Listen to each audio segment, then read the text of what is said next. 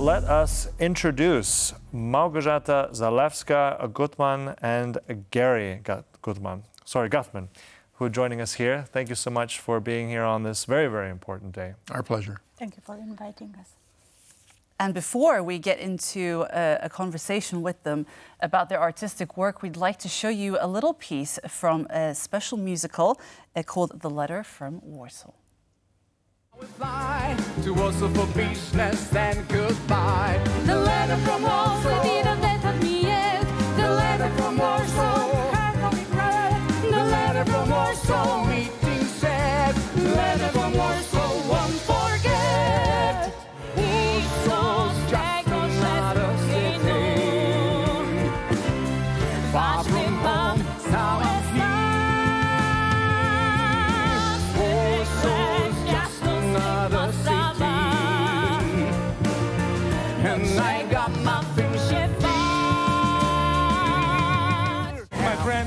friend, please stay, you must understand. Anyway, let's try it again.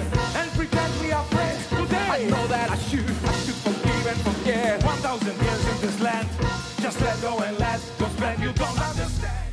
Right, so we heard a clip there. Uh, and I think also from the whole fusion of that, I think it's music, it's culture, it's America, it's, it's Poland. I mean, it's so much in there. Um, what is that main theme? I want to start with uh, maybe ladies first. Let's start with you. What is that main theme through all this at the core of this musical? Uh, different points of view. The point of view of uh, the Polish nation and the point of view of the American uh, Jewish uh, population. Uh, when he came to Poland, he discovered that the stories that are told outside of Poland aren't really the real stories. Uh, Poland has story to tell, and he created uh, this. Uh, musical uh, with uh, Doman Nowakowski, very good Polish uh, scriptwriter, and uh, we recorded also uh, an album in both versions in uh, English and Polish and we wanted to tell a story about how it really happened and how people actually lived in the past and discovered right now in the present uh, their stories from the past that were untold because, of course, of the trauma of the Holocaust, the difficulties with communications. And then uh, we wanted to also bring back the wonderful uh, character, which is Marek Edelman. We wanted to honor him with his permission. He knew about this musical being composed. And we had also a special uh, character in the musical that was um, presented uh, as a Marek, which was uh, Marek Edelman. It was based on his fight uh, for freedom, because uh, what was the most important for him to actually stand with the gun in his hand. Right, and that's why also back to the daffodils, and that's the connection we're talking about that today. So really Yes. significant. Yeah. Gary, perhaps you can tell us because you were raised in the States in Oregon and then you moved to Poland. So perhaps you can take us back to the States and tell us your story a little bit. I think the most interesting thing for me growing up uh, in the United States is that we never heard very much about Poland, especially uh, in the Jewish community, uh, in, the, in the three different sects of Jewish community, the Orthodox, Conservative, and Reform. Uh, we knew and saw the videos of the Holocaust. And that's about it.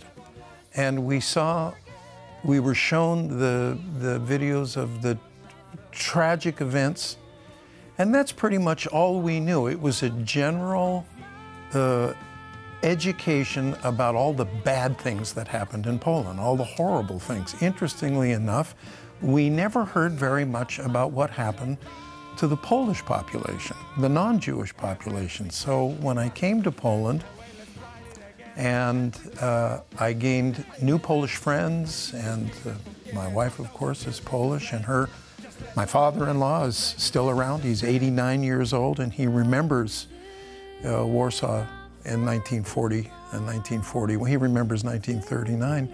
I started hearing stories, personal stories, but even more global stories about what happened to the Polish community and how the Polish community was treated, and it it struck me. It really struck me because I'd never heard these stories before, and I and these stories became very important to me. And I saw both sides, both sides.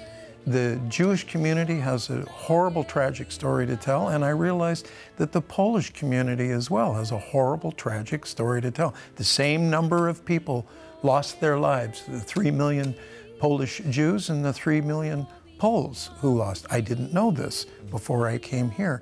So it caused me to really think more about how stories get inflated, history gets, some parts of history get buried, other parts of history get exposed, and ultimately it's all true. Give, or take uh, some personal stories that people don't remember, handed down through generations. But I realized that both sides of this story have a point of view and have a reason to speak. So we I composed a musical, 22 songs, and libretto along with Doman Nowakowski that that showed both sides of the story.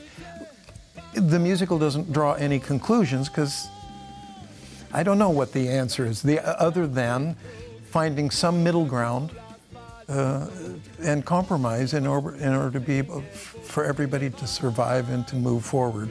As we see not, uh, as we not only remember from the Holocaust, but we s- see today in uh, a number of areas in the world where this conflict between two sides continues.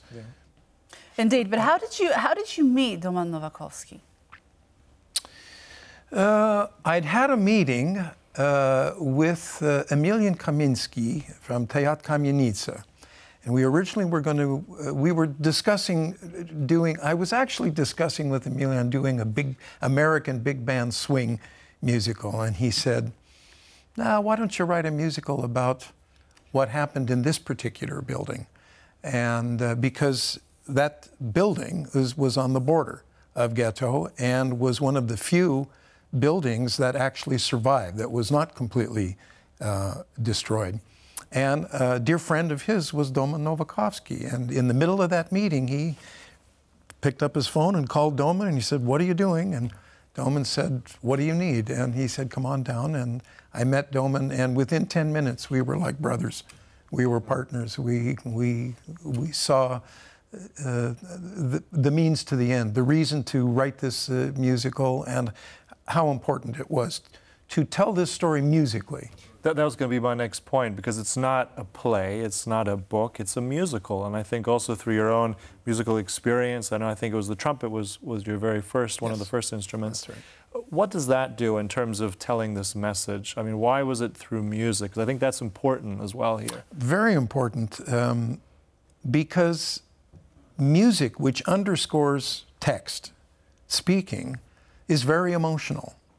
And it adds an element to a story, to a dramatic story, that helps support and underscore the emotional aspect of what the story is trying to tell.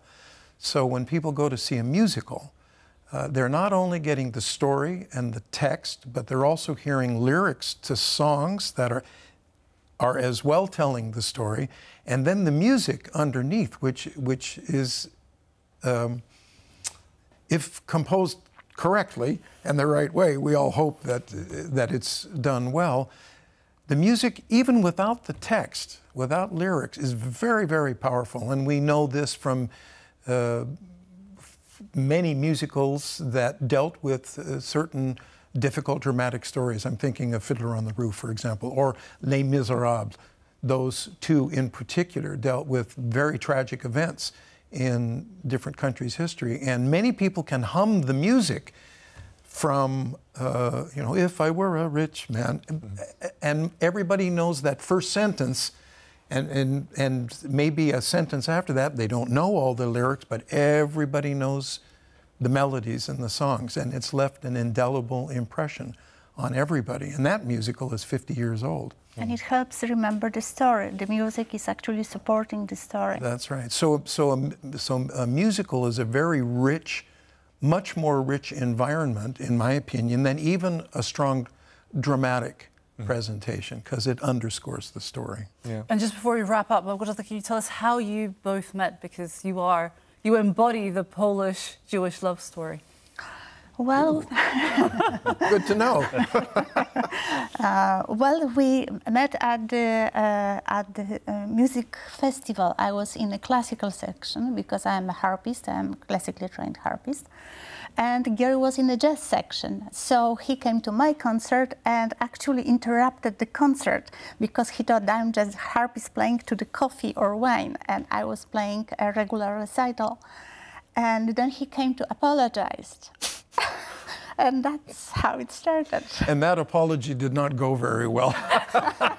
but what, what happened, just really quickly, what happened after that is that we were performing throughout Europe over the, the rest of that summer. And we kept, we had no idea what each other's schedule was, but as it turned out, we kept performing at many of the same festivals. So it was like kismet. We, it was fate. We kept running into each other over the course of the summer, and then I, I was and then I bought you, and then I bought you a, a pistachio ice cream cone. In Florence. In I remember. Florence. And it started to melt. and- Yes. and the melting ice cream cone is kind of a um, visual image of the rest of our marriage.